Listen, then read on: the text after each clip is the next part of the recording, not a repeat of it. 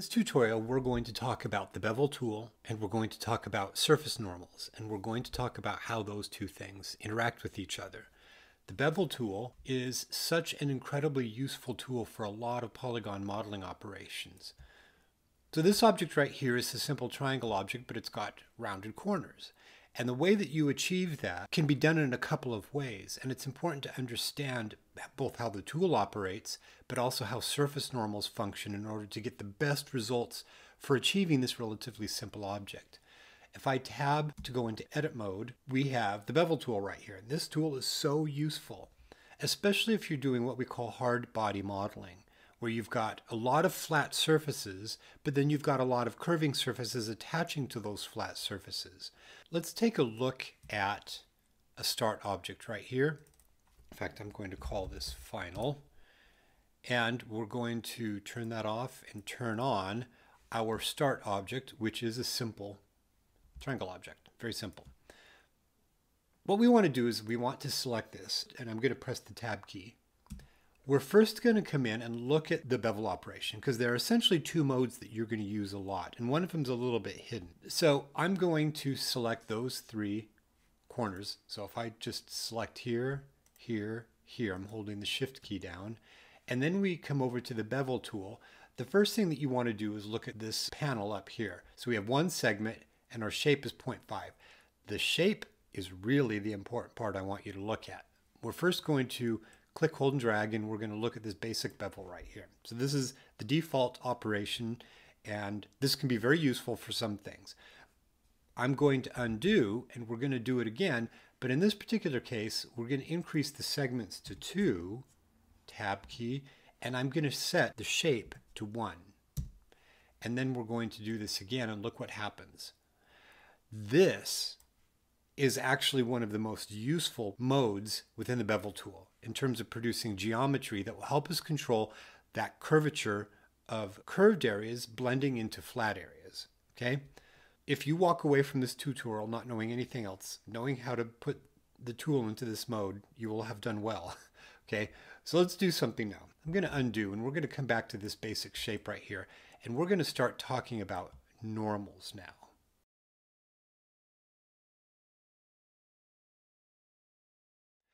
Okay, so what we're going to do is we're going to come over here and we're going to take a look at this triangle object and we're going to put it into its default mode where if I leave edit mode and I simply invoke shade smooth on an object, it's going to have this sort of weird appearance right here where we don't really see the corners except at the profile ends.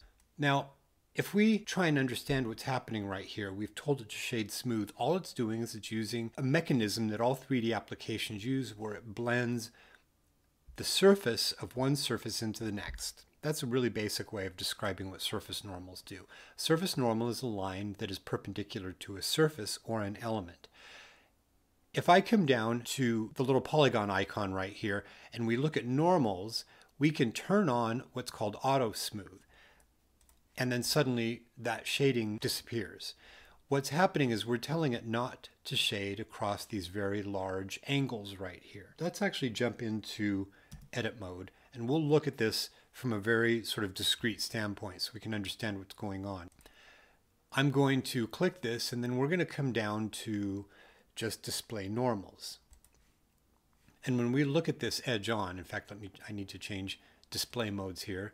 If we look at this, so it's just edge on with no perspective, we can see the lines coming out here from each surface. Those lines are exactly perpendicular to that surface, and those are called surface normals. An application uses these to blend between these surfaces, but it does it actually at the vertex level. So let's come over here and let's turn on the display of vertex normals. So we can see right here that these vertices at these corners actually has a line that's coming out in a perpendicular type fashion to those corners. And it is that that produces the shading that we see. So we don't see shading right here though because we have told through the auto smooth function not to generate smoothing if the angle between this normal and this normal is greater than 30 degrees. But we can alter that. So let's come over here and let's take a look at this. Let's set this value to 200 and then we can see that in fact it does shade. But we can actually tell Blender to put this into a mode where we can see this at the normal level too. So I'm going to turn off vertex normals and we're going to turn on this thing called split normals right here. So if we come in here and look at this in the front view, let me switch this into a polygon view and then we'll come to front. The split normals displays the same way it was before with the vertex normals, but as soon as we come over here now and set this back down to the 30 degrees, we can see that it splits the normals, and this then prevents shading across that surface. And so those normals give us a visual representation of what the shading is actually doing. Now, this is actually really important for how the bevel tool operates because there's a function in there that is designed to control the normals. So let's jump back in here and take a look at what happens when we invoke the bevel function, now taking into account this concept of normals. So what I'm going to do is I'm going to come over here and select these three corners again, and we're going to come over to the bevel tool. There are two ways that you can model something. You can model directly the polygons that you're going to end up rendering, or you're going to be modeling so that you're going to be using subdivision surfaces, meaning you're modeling a polygon mesh that is what we call a cage that is going to drive a subdivision surface. And depending on the approach, you're going to use the polygon bevel tool in just a little bit of a different way. We'll just do a bevel here and then we'll control it using the control panel we have right here. What I'm going to do is I'm going to set this to a value of 6 and then we're going to set that shape back down to 0.5 and that will give us rounding. So let's come over here and take a look at this relative to what's happening with the normals. So I'm going to come back into the front view here and we can see the surface normal, which is right at the center of the face, and then we have vertex normals. Vertex normals are an average of the surface normal that is on adjoining faces. So it's just basically right in between them. Now, the issue that we have right here is that this normal right here sits between this long polygon and this shorter polygon, and it's going to blend the surface across those to give us apparent curvature on an otherwise flat surface. So let's take a look at this if I just rotate the view right here. It's not immediately apparent until you study it kind of closely that there's a slight subtle amount of curvature shading that's happening across these surfaces. Now, if we come over and invoke this function called a harden normals, watch what happens. You can turn it on and you can turn it off and see a subtle shift in these flat faces. What that's designed to do is to make sure that these large flat faces remain flat, not just geometrically, but more specifically from a shading standpoint. If we come back over into the front view and we take a look at this, we can see what's happening with the actual normals. So I want your eye to watch this normal right here as I turn that harden normal off and on, you can see that it's affecting this normal. What it's doing is it's simply transferring this vector and applying it to this normal right here, and then it blends around this surface so that as the curvature comes down here, this fooling of the eye, if you will, of making flat surfaces appear to be shaded and curving stops right here because this normal is now the same as the whole flat surface is normal. Okay, so that's actually really critical if you're going to be producing a model where you're modeling exactly the polygons that you want to render. And you want to make sure that those flat surfaces are flat, you just enable the hard normals function. Now, if you're going to be modeling this for a subdivision surface object, the approach is actually going to be a little bit different and this hard normal function really won't come into play. And this is where the other mode of the bevel tool is going to come into operation, and we're going to take a look at that next.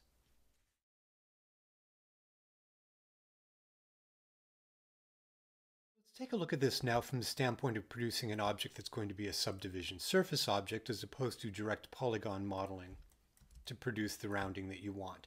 So I'm going to come back in here and press the tab key and I've turned off all the normal display for right now. We'll come back in and turn that on in a second. Let's say that we want to come in here and produce, the, using the bevel tool, rounded corners again. Let's just bevel them and then we'll change them down here. We'll come over and do six segments using that 0.5 so that produces the rounding. And then if we come over here and we look at this from the front view, we've got the rounding. But as soon as we apply a subdivision surface, in fact, let me turn on we'll, we'll turn on the harden normal function so that we can see how this doesn't affect, turn on this right there, so that we can see how that has no effect on the actual subdivision. We're going to come over here now and apply a subdivision to it. In fact, let's turn this up a little bit more. I'm going to take it to 3 and 3. And we can see that there's curvature coming way down into these flat areas, and that's not what we want. Okay, we really want no more curvature by about this point right here.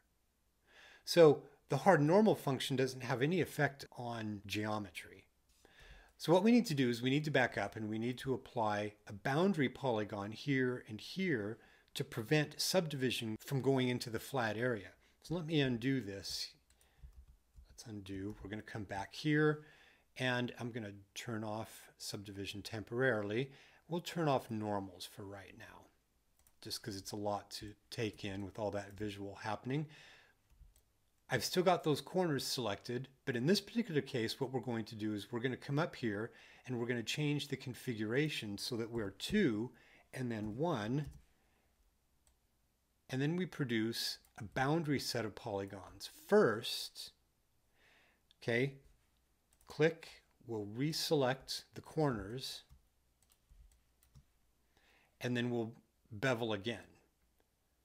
Right up until you get pretty close to where those polygons are here, and then we'll reconfigure so we have 6, and the shape is back 0.5, which is the rounding.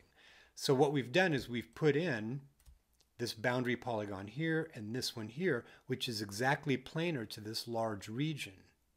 Now when we turn subdivision back on, let's look at this in the front view, we don't have that curvature coming down into our flat areas. That boundary polygon produced by the bevel tool in its alternate mode gave us this. It made sure that we were flat where we wanted to be flat, okay? So we could come over here and turn on, again, our normals, and we can see that this normal here matches the flat planar area normal, and then it starts to curve. So this is a very important concept to understand if you're going to be producing models that have a lot of flat surfaces with curving surfaces attached to them.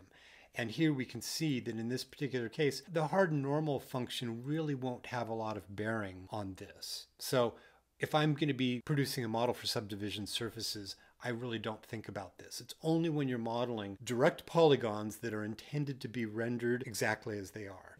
So we can take a look at this and there's one final thing that I want to show you dealing with edge creases.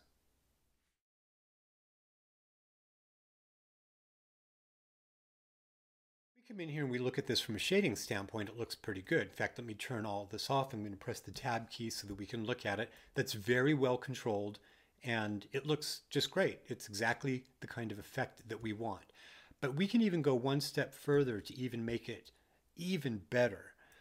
Let me turn off the normals right here so we don't have to think about that because we're going to look at geometry again. If I come over here and we turn off optimal display and then we come back over into a mode that we can look at the polygons, we can see right here, in fact, let me toggle this display. Let me toggle this optimal display right here. And we can see that there is this edge right here, and it actually corresponds to this cage polygon edge right there. And what that means is that the subdivided polygons from this parent are blending into this large polygon right here, and it's blending to that point. We can see that here when we turn off the optimal display. We can see this transition of the polygons. But we can control the subdivision even better because in in a theoretical way, it's actually technically pulling just a slight amount of curvature into these regions. On this model, you're not seeing it.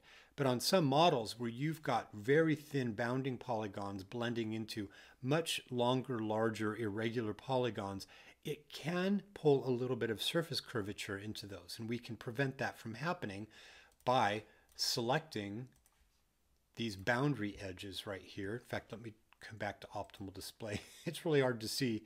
And I'm going to select those two boundary polygons and we're going to come up to edge mode and then down to a function called edge crease is when we start mousing you'll be able to see the subdivision adapting until those edges merge. And that means these child polygons are not going to pass the boundary.